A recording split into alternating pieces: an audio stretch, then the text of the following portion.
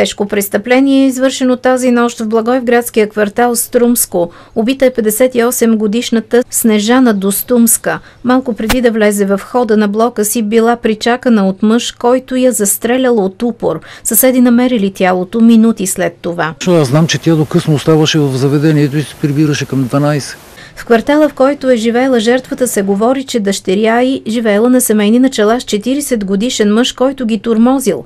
Тази сутрин близките на убитата жена бяха в шок от случилото се. Виждал съм го един или два пъти и това е. Силовето има апартамент горе, до заведението близо. По принцип Снежето е споделяла с мене такива неща, но нищо, абсолютно нищо. Снежка ни първа братовчет. Тело бегме от, от, от телевизора разбрахме. А това и аз го чух, че е била прибита.